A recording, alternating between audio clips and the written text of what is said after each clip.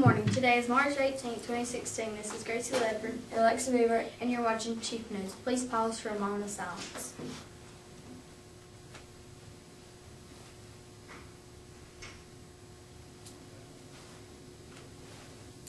Thank you.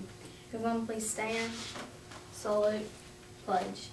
I pledge allegiance to the flag of the United States of America and to the republic for which it stands, one nation, under God, indivisible, with liberty and justice for all. Thank you. You may be seated. For lunch today, we'll be having supreme pizza, bacon cheeseburger, oven roasted potatoes, side salad, green beans, and sliced pears. Happy birthday to Stephen Arbogast. Congratulations to the following students for turning in the in a full chief card. Please report to the to Ms. Shuby's office following chief news to pick up your prize. Andrew Sane, Alex Hall, Morgan Chapman, Aaliyah Cole, Emily Dellinger, Colby Mashburn, um, Brogan Hebner, Samuel Duncan, Leah Matney, and Addison Stamey.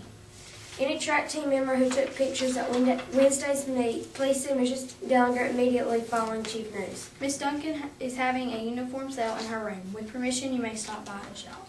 The Media Center is sponsoring a March Madness for Books tournament this month.